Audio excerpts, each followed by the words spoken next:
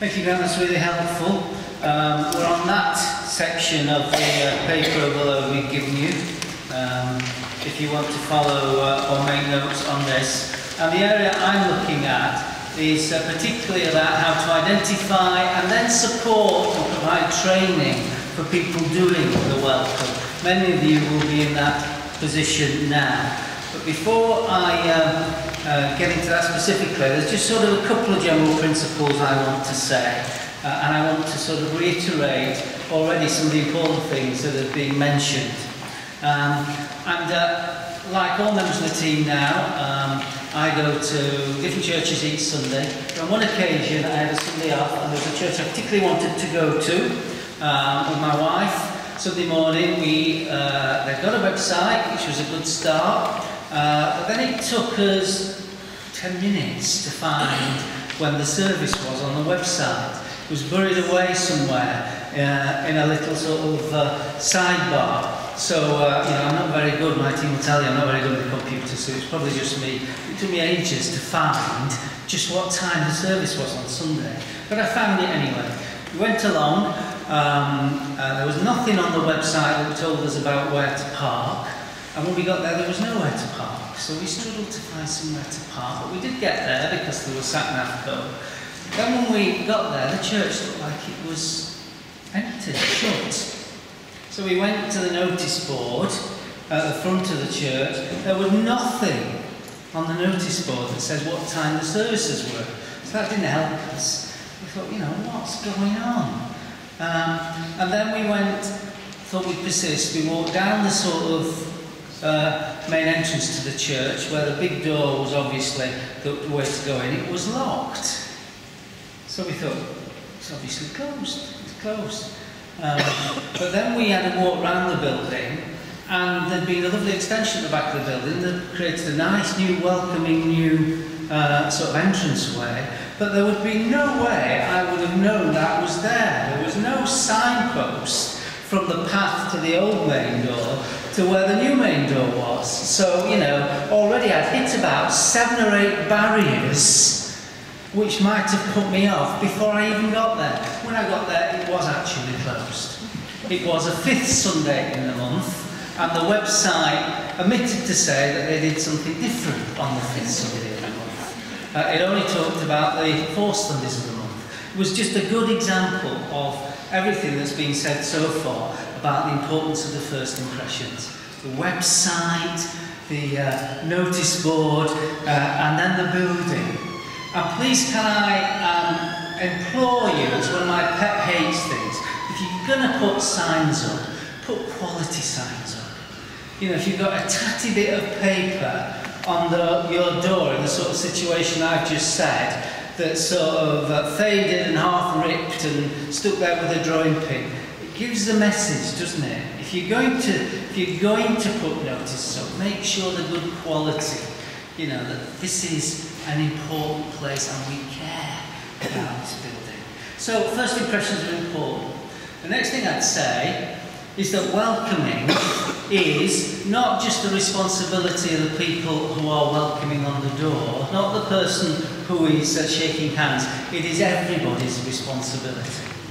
And it needs to be a genuinely welcoming church. Uh, and I would employ colleagues here, clergy colleagues here, if they don't do this, it ought to be in your preaching uh, itinerary at least once a year. Mark's already sort of scratched the surface on the theology of worship. It is rich, the Bible is rich with it. But we need to be challenging our congregations to be a welcoming congregations. And it might upset a few people, but I'm sorry. You know, if you're in a church where people still think that that seat belongs to them, they need challenging.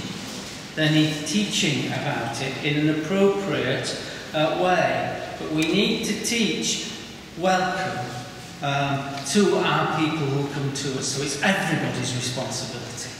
And people looking out for a new person. The third thing is get, it's really hard to get this right, isn't it? But it's about welcoming but not smothering. Again, in one of my uh, visits to a church, this was a free church, so it doesn't matter. I am preaching a free church, uh, but, but, but it's, it's a style. It's a style. Some people may like it. It irritated me to death. I was overwhelmed. Uh, I was hit by about 12 people from the front door to the seat of people who were clearly on a script uh, and had no real interest in me at all and being told what to say, and about six people said exactly the same thing. And it was irritating and it was artificial. Uh, and it was over the top and I felt smothered. I just simply wanted to get to my seat so I could spend two minutes being quiet with God before the service started. And I had all these people in my face. So it's about getting the balance right. Welcome, but don't smother. And the other thing to say is beware of the turn-offs for new people. There are plenty of turn-offs which aren't turn-offs really for most of us. Uh, but in particular, uh, you know, the thing about embarrassing newcomers. Uh, I'm an introvert. Uh, um, you know, most clergy actually are. They hate being put the front. Uh, I'm one of those. But when someone says to me, if you're here for the first time, put your hand up or stand up or let's give them a clap, I'm out that door like nobody's business, or at least I'm not going to come back. So, you know, some of the things we think are welcoming, we need to think about. We must not embarrass newcomers. Also, um, you know, boring notices. Another church which will remain nameless went to a church recently. The notices genuinely were longer than the sermon. And it was a free mic time, and anybody who wanted to say anything was, you know, invited to come forward. And of course, everybody's issue was important to them, and so everybody went on and on and on about their issue. And it might have been fascinating for the members of the church. I was bored witless.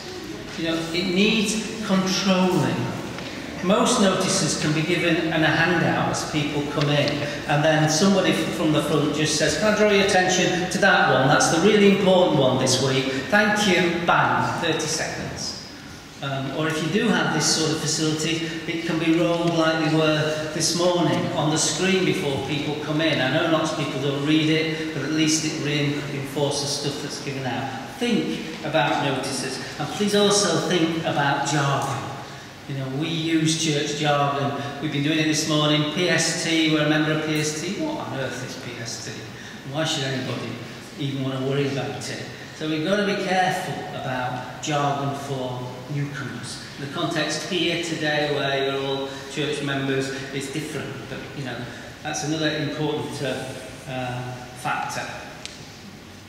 The other final thing is get it right first time. Uh, please get it right first time. We know that many, many people, uh, it takes them a lot of courage to come to church, believe it or not. You know, when I was uh, vicar at Polly's, where Gina is now, um, one of the things I challenged the church to at the time was to go to a bookmaker's.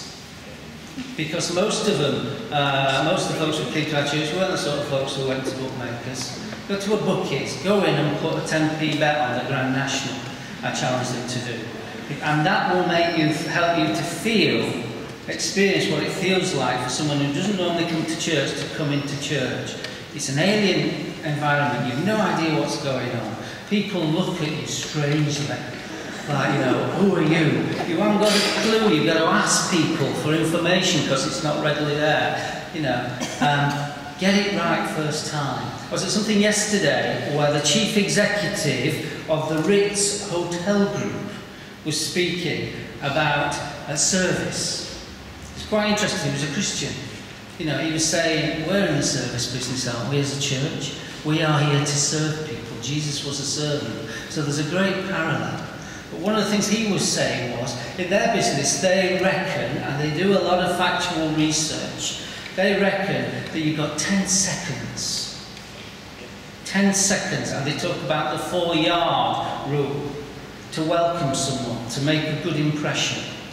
And so what they teach all their staff to do is that when somebody's within, if someone's got within four yards, ten feet, whatever four yards is, if that's right, of you, by that time you should have made eye contact with them, and you should have smiled with them, and you should have said hello. Now, you know, we're not selling products, we're not uh, in the service industry like they are, but it's interesting, isn't it? First impressions can never be undone. Uh, so we need to get it right first time. So, specific things about um, welcomers and um, identifying uh, and selecting um, people doing welcome. And the first thing to say, I think, is, and it's, a lot of these things are obvious but they need saying, well, people who are doing welcome actually need to be selected. They need to be people who are naturally good with people. You know, they need to be those folks who are warm and enthusiastic and like smiling at people. And it is such an important part in the job. You cannot just leave it. Very often I think we've left it to say, well, this is something anyone can do. So let's get any volunteer, and it might be a good way to encourage someone to do something. And you know, the 10% is doing all the work in the church anyway, so anybody can do. I do not think that is true. I think welcomers need to be really careful about who uh, is invited to be on the welcome team. I think the other thing that's important um, is that the people on the front door reflect the age range of the church you are. So if you're fortunate to be a church with all ages, then in your welcome team you ought to have people in there of all ages. And really importantly, if you're running a family service or an all age service, it's a really good idea to try and get a family to be welcoming because you set the tone for what's going to go on in that service right at the very beginning. So if you're fortunate to have enough people to think about variety and different folks on there, think about who it is that on welcome, you're welcome to. Are they reflecting the age range of the church? Are they reflecting the age range of the people you are trying to reach, particularly if you're doing all age and family services. The next thing I think is, uh, and this is not management technique, I think, and I know we're getting overwhelmed with that in the church, but I think it is just really good in practice, really good practice for PCC just to write down, you might not call it a job description, you can call it anything, but just a list of what you expect your welcomers to do. Firstly, because it helps you then, you have to actually think through what it is they're actually doing and what you're asking them to do. Um, and, uh, you know, uh, some of the things are obvious but are worth stating, like, you know, if you're on welcome, what time do you expect people to turn up? Um, you know, as a vicar, uh, I have had people on my welcome teams uh, who uh, regularly turn up five minutes after the service has started. What a waste of time.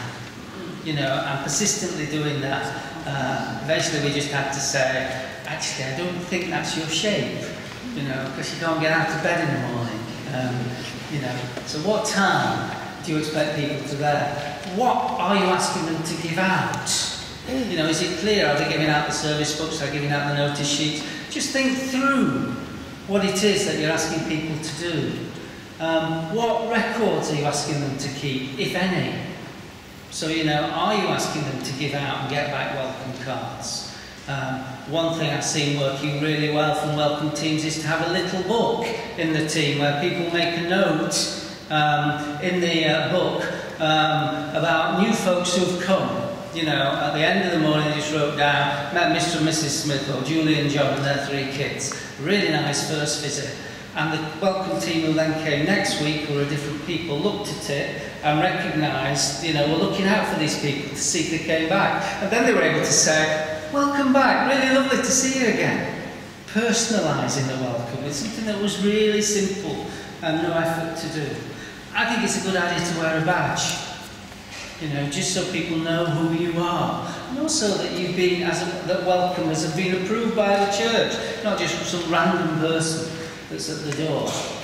Um, I think it's a good idea if you've got enough people to be able to uh, have more than just someone at the door, but also someone who's inside the church. Because you don't want to make a bottleneck at the door, um, like we did this morning, and we always do on big Darson events, because everybody arrives at the last five minutes. Um, so if you can have a, a brief welcome at the door, but then have someone just inside who can spend a bit more time and help people find a seat, particularly if they're uh, late. I know all your churches are overwhelmed with people and you've no spare seats. But the point is, it's helpful to have someone who could do that. So maybe think about where people are positioned, where you're welcomed, uh, people, where the people are positioned, your welcomers. And finally, spell out what the responsibility is after the service. That is the worst time for new people. You know this, don't you?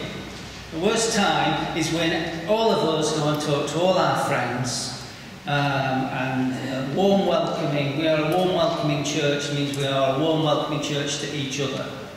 Uh, and the person who's new is left on their own and doesn't know what to do. Well, that's a welcomer's responsibility at the end of the service. To actually go and make sure that person is offered some refreshments. Or, you know, one of the things that is most helpful to do, I think, uh, is for that person, for the welcome team, to try and connect those people to, to other folks who um, they might think they are connect with. And I know you make assumptions, but, you know, if a family comes, it's good to try and say, have you met you know, John and Julie and their kids, just have a word with those and get a natural conversation going. Or, you know, if it's an older person, have you met Edna? I think she lives down your street, I'm not sure. Connect people at the end of service so that, so that something uh, to make them feel welcome throughout. So job descriptions, I think, are a good idea. You just put these up. Some of these things I've talked about, um, but uh, another thing if you're selecting people for welcome, and I think this is good for all volunteers in church, is, you know, suggest it's a fixed term commitment that you're asking someone to do that role for. The danger we, we've all got, isn't it, because we're all there, is you volunteer to do something and you've got a job for life. I think that puts a lot of people off. met my good friend Mike this morning, uh, who's, I, I think he's still welcoming at Polycarps. He was welcoming there when I was there. I suspect he was welcoming for the vicar, probably because he wants to. But some people don't want a job for life. So if you say, I really think you'd be great on the welcome rota, um, would you think about doing this for 12 months and then we can talk again? I think that's good practice and encourages people. I've talked about locations, uh, of welcomers. If you've got one, one, one church, one, one service on the Sunday, it's really good if you can. I know many churches are strapped for, for volunteers and things, but have a dedicated team for each service. So, you know, draw the welcomers out from that service because they're more likely then to spot new people who come to that service. You know, if you've got your welcomers who never go to the early service or to the late service, and they don't, they don't get a feel of who's new, that can be difficult. So try and find welcomers um, for each of the service. Uh, and uh, I think the final thing to say is not just welcome is everyone's responsibility. I think welcome sets the tone for the entire act of worship. And so it is for everyone. So it's not, we're not just talking here about how do we welcome the newcomer. It's how do we welcome Elsie who's been coming every day of her life for 90 years. It's every person who comes through that door deserves an appropriate welcome because it sets the tone for the entire worship experience. If you've been welcomed well, you are in the right frame of mind to continue that act of worship and to meet with God in the right way. If you've been ignored or snubbed or whatever it will be, that will set your mind frame for everything else that's going on for the rest of that morning or that event. So, you know, it really is important. Just a few things to share from my last church in Liverpool where, where I was at. Um, uh, uh, some things you may or may find helpful. But in our welcoming team, um, we spent a bit of time together, the people who were on the welcome rota. We will spend time together trying to just work out what it is we were trying to do. And this is what um, uh, we came up with, the welcome team came up with there. They said that their role was to encourage new people to be drawn into the full body of the church family. That's not just the welcome's job, but the job of the whole church. So again, that thing about not just being welcoming when they come, but so it is their responsibility to help connect that person to the whole of the church family. How do they do that? And then our aim was to ensure that all newcomers and attendees feel welcome and accepted, are enabled to experience the love of God through worship, fellowship, and hospitality of God's people. And this is a list that, uh, of things when we reviewed it uh, um, most recently that people thought they did well. It was a friendly face, a nice smile, a nice handshake at the door at all services, that there was an invitation to stay for drinks after the service, that they told people when they arrived where the toilets were, not being overpowering, spotting people who needed space and protecting them. That's the other side of it. You know, a good sensitive welcomer can actually sometimes protect people, depending on what sort of uh, church it is. You know, in our church, uh, which was very friendly and welcoming, you'd often get, you'd often see people who were being touched by God, uh, maybe in tears or just clearly wanting to engage by God and linger at the end of the service. And then, you know, it's sometimes as a vicar you get these oh no moments, moments where you want to do things in slow moment, where you want to go, run down the church to stop the person who's going to suddenly interrupt that connection they've got with God. Well, a good welcomer can do that. They spot the newcomer and they can see someone's making a beeline for them. They feel they need a bit of space just to say, just hang on a minute, you know. Um, uh, I think she just needs to be quiet. So, you know, uh, spotting people um, who need space. Um, where to? Yes, um, offering more information um, to people as they arrive, as appropriate. So we've already said a lot of it can be in, in uh, information sheets, but again sometimes it's obvious if people have come with children. Um, it's good for the welcomers to know what's going to go on in the service. Because people, particularly if they come with children, often have no idea at all, you know, is there a crèche? Are the children expected to stay in? If they're, if they're expected to go out, do they have to go out? If I'm here for the first time, can I stay? Can, you know, my, can my children stay with me? Um, so giving people information that's appropriate for, for what's going on in the service. I've already talked about having a variety of ages, people involved. Uh, also, you know, giving information to children. We set up a children's forum in our last church um, and one of the things the children said back to us, one of the first things some of our children said back to us from our children's forum was, well, why doesn't anybody ever um, welcome us and give us books when we come to church? Why is it always given to me mum and dad? Why do people always talk to mum and dad? Don't talk to me. I've been coming to this church all my life. I'll only be seven. But I'm treated as if I'm not important. So again, how do you welcome children? What information do you give them? Is really important. Mike's going to talk a little bit more about that. Uh, things we felt didn't work. Too many people congregating at the door. Really do think about, you know, the positioning of your welcomers and how you get people in first. Too many handshakes, that's, it, that's the over-welcome thing. Um, being ushered in too quickly to the seat. So, you know, ushered right in when you actually want just to linger and read the notices and things like that. Um, pushing people to sign up too quickly without that conversation. Just give them information. But people are used to being hassled, you know, can we have your email address? Can we have this? Can we have that? We want to send you a letter. You've got to get the timing of that right. Suggest the first visit is probably not the best time, is my view, to get that sort of info. Um, unless people want to offer it uh, and stuff's available. Uh, not being welcoming to uh, children, giving them too much stuff. Um, finally, from me, before I just show a little video, um, uh, yeah, uh, it's good to train the people who are doing welcome. Uh, get them together. I think it's good practice to get them together twice a year. This is a really important part uh, of the life of the church. And people need to be affirmed, and this role needs to be affirmed and encouraged. If you are doing welcome, are you a wel you're a welcomer here today, you're doing a really, really important job in your church. It's not just a tick list on a rota. So getting people together a couple of times a year, maybe with a cake and some coffee and, you know, uh, making it show that they're appreciated is a good thing to do. And then just talk about how things are happening, what can be improved, what could be better.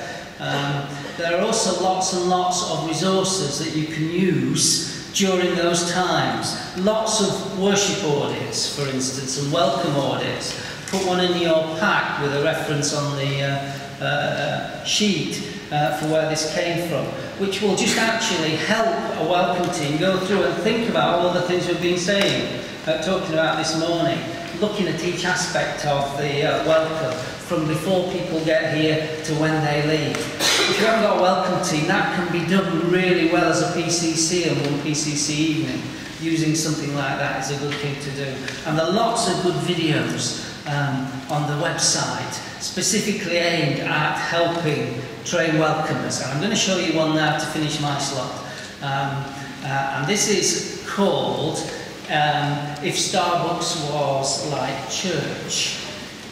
And the premise is, what, how well would Starbucks do if they welcome people like many churches welcome people? And what I want you to do is, as you're watching this, count how many basic mistakes in terms of what we've just been talking about you can see happening on this video. Uh, I'll not tell you how many I uh, came up with. We'll see who found the most mistakes when you see it happen. So you can that.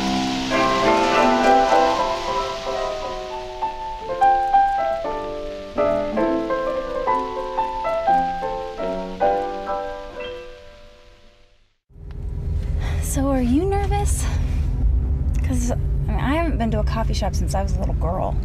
At least you've been to a coffee shop. I've never been to one. Do you see their bumper stickers? Check them out. Oh, yeah. There we go. Park so far away. Okay.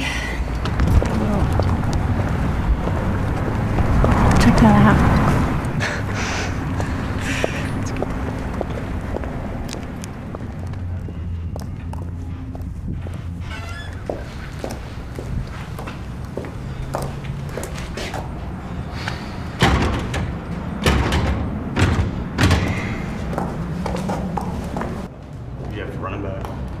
Julius Jones, I think. I can't remember. Who'd you have?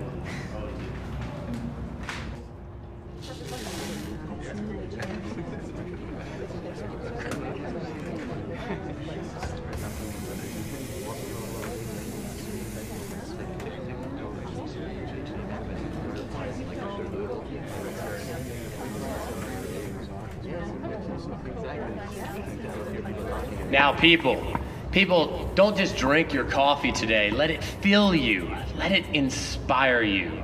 Try an Americano, a mocha latte, even a cappuccino with its rich and satisfying body. Now, I want to remind everyone don't forget our goal of converting 500 people to coffee. Remember, bring your non coffee drinking friends with you.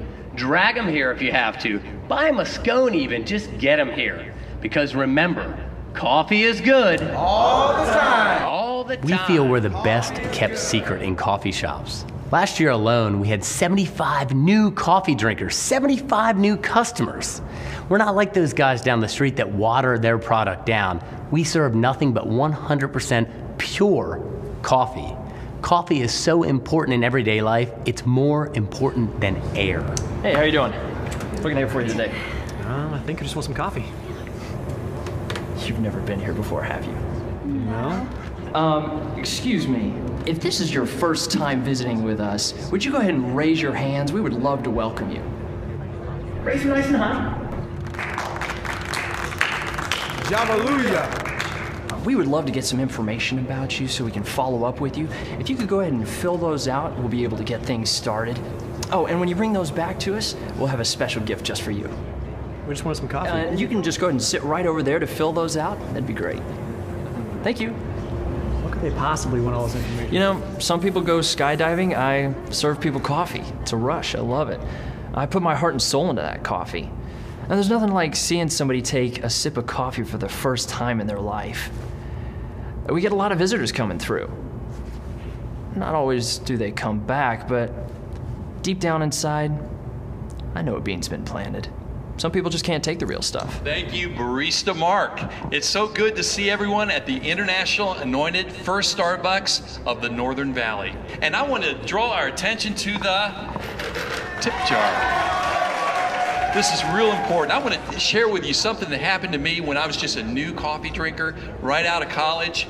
I learned that I could combine giving to my barista with my coffee, and this is the result. I found out that when I gave, my coffee came back to me, pressed down, shaken together, and running out all over. And I was a changed man. It's because the word joy, J O Y, means Java, others, and you. And when you include the You know, I've been thinking about National Coffee Day. National Coffee Day is coming up, you know. And it's always a big day for us, but this is what I'm going to do. I'm going to send out a direct mailer. And I'm sure our attendance is going to more than double, and it's going to change everything. and then in two weeks, we're going to be Use serving coffee Great. to the Thank you. homeless. And you're not going to want to miss Taken care that. What can I get you today? I think I just want some coffee. Okay. That'll be 398. Like, Oh, hey, what did you want to drink? nothing. Um, I couldn't find the restroom anywhere. Let's let's just get out of here. And there you are, sir.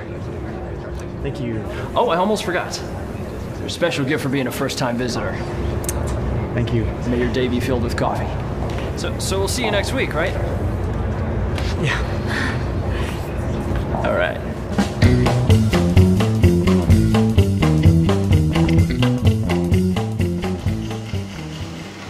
How many mistakes did you spot? Anybody more than 10?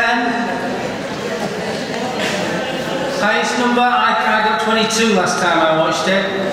But you, it makes a lot of the points, doesn't it? That's a good thing, good, good little tool you can use with your welcome team to open up conversation. If you go on that particular um, uh, website, um, there are, it's on YouTube, there are a whole load of videos like that along similar themes that you can use to help in training, as well as other resources we've talked about. Coffee time now, so uh, we're going to break coffee, 10 minute break, uh, and then we'll start again.